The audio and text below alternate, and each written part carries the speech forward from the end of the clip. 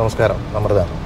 ചെറിയൊരു ഡിസ്കഷനാണ് ടോപ്പിക് നമ്മുടെ ബിഗ് ബോസ് സീസൺ സിക്സ് ആണ്. വെൽറ്റ് ഞാൻ ടോപ്പിക് ആദ്യമേ പറയുന്നത് ഈ ഒരു സബ്ജക്റ്റിൽ ഇൻട്രസ്റ്റഡ് അല്ലാത്തൊരു ഇവിടെ വെച്ച് എന്നെ സ്കിപ്പ് ചെയ്ത് പോട്ടെ എന്ന് വെച്ചിട്ടാണ്. അപ്പോൾ ഈ ഒരു പ്രോഗ്രാമിനെ കുറിച്ചുള്ളൊരു എന്റെ ഒരു ഒപ്പീനിയൻ അല്ല ഞാൻ ഈ പറയാൻ ഉദ്ദേശിക്കുന്നത്. കാരണം ഞാൻ ഈ പ്രോഗ്രാം കാണാറില്ല. ഇതിന്റെ ഒരു സൈക്കോളജി എന്ന് പറഞ്ഞു കഴിഞ്ഞാൽ വളരെ ഡിഫറെന്റ് ആയിട്ടുള്ള സർക്കംസ്റ്റാൻസസ് എന്ന് വരുന്ന ആളുകളെല്ലാം കൂടെ ഒരു വീട്ടിൽ വന്നിട്ട് ഇവർക്കൊക്കെ ഡിഫറെന്റ് മൈൻഡ് സെറ്റ് ആയിരിക്കും. അപ്പോൾ ഇവർ കുറച്ച് അഭിനയിക്കും. കാരണം നമ്മളെല്ലാവരും ഒരാളിനെ ആദ്യമായിട്ട് മീറ്റ് ചെയ്യുമ്പോഴത്തേക്ക് നമ്മൾ കുറച്ച് അഭിനയം തന്നെയാണ്. നമ്മുടെ ഡയറക്റ്റ് പേഴ്സണാലിറ്റി നമ്മൾ ഒരാളിനെ പരിചയപ്പെട്ട ഉടനെ അവരുടെ അടുത്ത് അങ്ങനെ തുറന്ന് കാണിക്കത്തില്ല. അതെല്ലാവരുടെയും മനുഷ്യ സഹജമായിട്ടുള്ളൊരു രീതിയാണെന്ന്. അത് നമ്മളൊരു പേഴ്സണാലിറ്റി ഒരു നമ്മൾ ബിൽഡപ്പ് ചെയ്തിട്ടുള്ളൊരു പേഴ്സണാലിറ്റി ഉണ്ടാവും. പക്ഷേ അതിനപ്പുറത്തേക്ക് ഒരാളിനെ നമ്മൾ അടുത്ത് വരുമ്പോഴാണ് അവരുടെ ശരിക്കും ശരിക്കുമുള്ളൊരു തനി സ്വരൂപം എന്നൊക്കെ പറയുന്ന ആ ഒരു സംഭവം നമ്മൾ മനസ്സിലാക്കിയെടുക്കുന്നത്.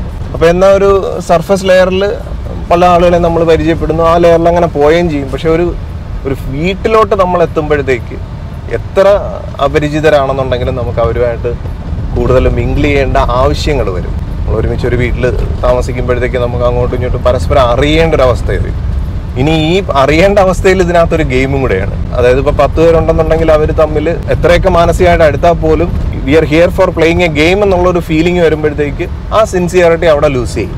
അപ്പോൾ ഇങ്ങനെയൊക്കെ ഉള്ള ഒരു മൈൻഡ് ഗെയിം എന്ന് പറയാം. പക്ഷെ എനിക്കത് ആയിട്ട് തോന്നിയിട്ടുമില്ല. കാരണം ഇതൊരു തരം എക്സ്പ്ലോയിറ്റേഷൻ ആയിട്ടാണ് എനിക്ക് തോന്നിയിട്ടുള്ളത്. മനുഷ്യനെ കൊണ്ട് ഇതുപോലുള്ള അനിമൽസിനെ പോലെ അകത്ത് ഒരു അടച്ചുകൂട്ടിയിട്ടിട്ട് അവരുടെ വികാരങ്ങളെല്ലാം ക്യാപ്ചർ ചെയ്ത് പബ്ലിക്കിനെ കാണിക്കുക. എന്നിട്ട് അവർ എങ്ങനെ ഗെയിം ജയിക്കാനായിട്ട് അവർ ഓരോരോ സ്ട്രാറ്റജീസ് എടുക്കുന്നു എന്നൊക്കെ നമുക്ക് ഓഡിയൻസിന്റെ ഇടയിൽ അതിട്ട് വന്നിട്ട് നമ്മൾ ഓഡിയൻസിനെ എൻജോയ് ചെയ്യിപ്പിക്കുന്ന ഒരു ഒരു ഫൺ ഫാക്ടറും ഒക്കെ ഉണ്ടാക്കിയെടുക്കുന്നത് എല്ലാ രീതിയിലുള്ള ഇമോഷൻസിനെയും കണക്ട് ചെയ്യുന്ന ഒരു പ്രോഗ്രാം ഇപ്പോൾ ഏതൊരു പ്രോഗ്രാം നമ്മൾ എടുത്താലും ഒരു പ്രോപ്പറായിട്ടുള്ളൊരു ക്രിയേറ്റീവ് ഹെഡ് ഇല്ലാതെ ഒരു പ്രോഗ്രാമും ലോകത്ത് നടക്കുന്നില്ല. അപ്പം ഞാൻ പറഞ്ഞു വന്നത് ഇപ്പൊ നിലവിലെ ബിഗ് ബോസിന്റെ ഒരു പ്രശ്നമാണ്. അതായത് നമ്മുടെ അഖിൽ മാരാർ. അഖിൽ മാരാർ എനിക്ക് നേരിട്ട് പരിചയമുള്ളൊരു വ്യക്തിയാണ്. അപ്പോൾ അഖിൽ മാരാരുടെ അപ്ഡേറ്റ് വന്ന് അദ്ദേഹം അതിനെക്കുറിച്ച് ഈ ഷോയിനെ കുറിച്ചുള്ള അദ്ദേഹത്തിന്റെ വീക്ഷണം ഷെയർ ചെയ്തപ്പോഴാണ്. ഞാൻ ഇത്രയും കാലമായിട്ട് ഈ പ്രോഗ്രാം കാണാതിരുന്നതിലുള്ള സാറ്റിസ്ഫാക്ഷൻ എനിക്ക് കുറച്ചും കൂടെ അതൊരു ആത്മസംതൃപ്തി തോന്നിയത്.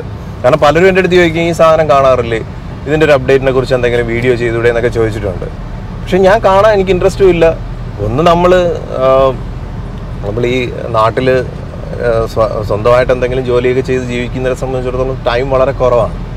പിന്നെ അതിനിടയിൽ നമ്മളത് സമയം കണ്ടെത്തിയാണ് ഇങ്ങനെ ഒരു പ്ലാറ്റ്ഫോമും കൂടെ മെയിന്റെയിൻ ചെയ്യാനൊക്കെ ശ്രമിക്കുന്നത്. അപ്പോൾ ഇന്നലെ അഖിൽമാരാർ ഈ ഒരു പ്രോഗ്രാമിനെ കുറിച്ചുള്ള കുറേ അദ്ദേഹത്തിന്റെ വീക്ഷണങ്ങൾ ഞാൻ എന്തൊക്കെയെന്നൊന്നും ഞാൻ ഡീറ്റെയിൽ ആയിട്ട് പറയുന്നില്ല.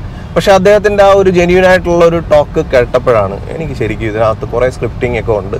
കുറച്ച് അവരുടെ പ്ലാൻ അവർക്കൊരു സ്ട്രാറ്റജി ഉണ്ട് എന്നുള്ളത് മനസ്സിലായത്. ഇത് സമയം കളഞ്ഞ് കണ്ട് കുത്തിയിരുന്ന് മൊബൈലിൽ നിന്ന് ഓട്ടോ ഒക്കെ ചെയ്യുന്ന ജനങ്ങൾ വിഡ്ഢികളാണോ എന്നുള്ള രീതിയിലാണ് അഖിൽമാരത് പറഞ്ഞു നിർത്തിയത്. പലരും പറഞ്ഞു കേട്ടായിരുന്നു കാരണം ഇത്തവണത്തെ ബിഗ് ബോസ് വളരെ ബോറാണെന്നൊക്കെ പലരും ഇങ്ങനെ പറയുന്നത് കേട്ടിട്ടുണ്ടായിരുന്നു. അപ്പോഴേ എന്റെ മനസ്സിൽ തോന്നിയിട്ടുണ്ട് ഇത് ഇനി അതിന് പ്രോഗ്രാം തകർന്നു പോകാൻ ഒരു കമ്പനി ആഗ്രഹിക്കത്തില്ല. അപ്പോൾ അവരതിന് വേറൊരു സ്ട്രാറ്റജിക്കൽ പ്ലാൻ വയ്ക്കും എങ്ങനെ വീണ്ടും ഇതിനെ ആളുകളുടെ ഇടയിൽ ഒരു ഡിസ്കഷൻ ടോപ്പിക്കാക്കി മാറ്റാമെന്നുള്ള ഒരു പുതിയ സ്ട്രാറ്റജി ആയിട്ട് മാത്രമേ ഞാൻ നിലവിലെ പ്രശ്നത്തിനെ കാണുന്നുള്ളൂ. അതായത് ആളുകളുടെ ഇടയിൽ ഒരു വലിയ ചർച്ച ഉണ്ടാക്കാൻ വേണ്ടിയിട്ടുള്ള ഒരു മൂവായിട്ടേ ഞാൻ ഇതിനെ കാണുന്നുള്ളൂ. കാരണം ഇതിന്റെ റിസൾട്ട് എന്താണെന്നുള്ള ഒരു വൺ വീക്ക് കഴിയുമ്പോഴേ അറിയാൻ പറ്റൂ. ചിലപ്പോൾ സെബിൻ തിരിച്ചു വരാൻ സാധ്യതയുണ്ട്. വളരെ ക്ലോസ് ഒന്നും അല്ലെങ്കിലും സെബിനെ ഞാൻ ആദ്യമായിട്ട് കാണുന്നത് ഒരു സ്പോർട്സിന്റെ ഒരു ഫുട്ബോൾ ടൂർണമെന്റിന്റെ ഇടയിലാണ്. അപ്പോൾ എനിക്ക് വളരെ പരിചയമുള്ള ഒരു സ്പോൺസർ ഒരു ടീമിനെ സ്പോൺസർ ചെയ്ത് അതിൽ എനിക്കൊരു ഇൻവോൾവ്മെന്റ് ഉണ്ടായിരുന്നു. അപ്പോൾ ആ ഒരു ഫുട്ബോൾ ടീമിനെ കൊണ്ടുവന്നത് ശരിക്കും സെബിനാണ്. സെബിനാണ് അതിന്റെ ഒരു ഓർഗനൈസർ ആ ഒരു ടീമിന്റെ അപ്പോൾ അങ്ങനെയാണ് ആദ്യമായിട്ട് ആ ടീം വിൻ ചെയ്യുകയും ചെയ്ത് കപ്പ് എടുക്കുകയും ചെയ്ത്. അപ്പോൾ അങ്ങനെയാണ് സെബിനെ ആദ്യമായിട്ട് പരിചയപ്പെട്ടത്. അപ്പോൾ അന്ന് എനിക്ക് ഇത്തരം പല ആക്ടിവിറ്റീസിലൂടെ ജീവിതം ജീവിത നിലവാരം മെച്ചപ്പെടുത്താനായിട്ട് സ്ട്രഗിൾ ചെയ്യുന്ന ഒരു അങ്ങനെയുള്ള പയ്യന്മാരുടെ അടുത്ത് എനിക്ക് ഭയങ്കര ഒരു എന്താ പറയുക ഒരു ഫാൻ ഫോളോ ആണെന്ന് പറയാം. ഞാനൊരു അവരുടെ ഒരു ഫാനായി അങ്ങ് മാറും ഓട്ടോമാറ്റിക്കലി കാരണം അതൊരു സി നമ്മുടെ നാട്ടിൽ സർവൈവ് ചെയ്യുക എന്ന് പറയുന്നത് അത്ര ഈസി അല്ല. അപ്പോൾ അതിന് പല പല മാർഗങ്ങളിലൂടെ റവന്യൂ കണ്ടെത്തി ആസ്വദിച്ച് ലൈഫ് നല്ല എൻജോയ് ചെയ്ത് ജീവിക്കുന്ന പിള്ളേരുടെ അടുത്ത് എനിക്ക് ഭയങ്കര ഒരു ആരാധനയാണ്. എനിക്ക് അങ്ങനെ ആരാധന തോന്നിയ ഒരു വ്യക്തിയാണ് ഈ സെബിൻ. അപ്പോൾ ആ ഒരു ഇൻസിഡന്റ് കഴിഞ്ഞിട്ട് രണ്ടാമത് ഞാൻ സെബിനെ മീറ്റ് ചെയ്യുന്നത് ഒരു ഡി ജെ ആയിട്ടാണ്. അത് ഞങ്ങളുടെ ഒരു എനിക്ക് വളരെ വേണ്ടപ്പെട്ട ഒരു സ്ഥാപനത്തിൽ ഡി ജെ പ്രോഗ്രാം ഓർഗനൈസ് ചെയ്തത്. അത് വലിയ ആർട്ടിസ്റ്റുകളൊക്കെ കൊണ്ടുവന്നതെല്ലാം സെബിനാണ്. അത് ഓർഗനൈസ് ചെയ്തത് full സെബിനാണ്. Sebin also is a D J. അദ്ദേഹം ഒരു നല്ല ഡി ജെ ആണ്. അപ്പോൾ അങ്ങനെയുള്ള ഒരു സെബിനെ കണ്ടപ്പോഴത്തേക്ക് എനിക്കത് കുറച്ചും കൂടെ ഇൻട്രസ്റ്റിംഗ് ആയിട്ട് തോന്നി. കാരണം അടുത്ത ഒരു മേഖലയിലെ അദ്ദേഹത്തിന്റെ പ്രതിഭ തെളിയിക്കാനായിട്ട്. പിന്നെ എനിക്ക് തോന്നുന്നു ഏഷ്യാനെറ്റിന്റെയൊക്കെ പല പ്രോഗ്രാംസും ഒക്കെ ആ, അതിന്റെ ഡി ജെ സൈഡൊക്കെ കോർഡിനേറ്റ് ചെയ്യുന്നതൊക്കെ സെബിനാണ്. അപ്പോൾ സെബിന്റെ ആ ഒരു കഴിവുകളൊക്കെ വെച്ചിട്ട് തന്നെ അദ്ദേഹം കയറിയാൽ Bigg Boss season six Sebin ചിലപ്പോൾ കൈക്കലാക്കാനുള്ള സാധ്യതയൊക്കെ നമ്മൾ മനസ്സിൽ കണ്ടിരുന്നു.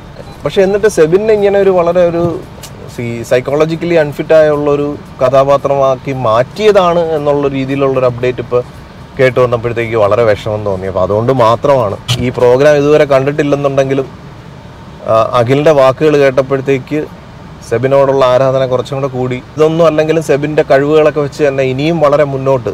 സി സെബിന് ഇപ്പോൾ ഒരു എക്സ്പോഷർ കിട്ടിയിട്ടുണ്ട്. വെൽ ആൻഡ് ഗുഡ് പക്ഷേ എങ്കിലും സെബിൻ ഇതിനേക്കാളൊക്കെ ബിഗ് ബോസിന്റെ ഒരു വിന്നർ ആയില്ലെന്നുണ്ടെങ്കിലും നിങ്ങൾക്ക് ഇതിനേക്കാളൊക്കെ വളരെ വലുതെന്തോ വരാനിരിക്കുന്നു. വളരെ വലിയ ഒരു അംഗീകാരം ഇടന്നു വരാനിരിക്കുന്നു. ഇപ്പോൾ ഓൾറെഡി അംഗീകാരം കിട്ടിക്കഴിഞ്ഞു. കാരണം ഈ ഒരു പ്രോഗ്രാമിനകത്ത് നടക്കുന്ന പിറ്റ്ഫോൾസ് എല്ലാം നമുക്ക് പബ്ലിക്കിന്റെ ഇടയിൽ ഒന്ന് എക്സ്പോസ്ഡ് ആയി. ഇതിപ്പോൾ ഇത്രയും നാളായിട്ട് ഇത് പലർക്കും അറിഞ്ഞൂടാത്ത കാര്യങ്ങൾ വരെ ഇതിനകത്തൂടെയൊക്കെ ഇപ്പോൾ അൺവെയിൽ ചെയ്തിട്ടുണ്ട്. സോ അത് തന്നെ സെബിന്റെ ഒരു ജീവിതത്തിലെ ഏറ്റവും വലിയൊരു വിജയമായിട്ട് ഞാൻ കാണുന്നു. അപ്പോൾ എന്തായാലും ബിഗ് ബോസ് എന്നുള്ള പ്രോഗ്രാം ഞാൻ ഇതുവരെ നോക്കിയിട്ടില്ലാത്തതിൽ ഇപ്പം ഞാൻ അഭിമാനിക്കുന്നു. പിന്നെ രണ്ട് സുഹൃത്തുക്കളെ ഓർത്തും. സെബിൻ എന്ന സുഹൃത്തും അഖിൽ മാരാർ എന്നുള്ള അദ്ദേഹം ഒരു സംഭവമാണ്. അപ്പോൾ ഈ ഒരു പ്രോഗ്രാമിന്റെ യാഥാസ്ഥിതികത്വം എന്താണെന്നുള്ളത് ഒരു അസ്തിത്വ കുറവ് എന്താണെന്നുള്ളത് പുറം ലോകത്തോട് അറിയിച്ച സെബിനും അഖിൽ മാരാർക്കും എന്റെ ഹൃദയം നിറഞ്ഞ ആശംസകൾ. മറ്റൊരു ബ്ലിസ്ഫുൾ സ്റ്റോറിയായിട്ട് നമുക്ക് വീണ്ടും കാണാം. Thank you for watching and thank you for supporting me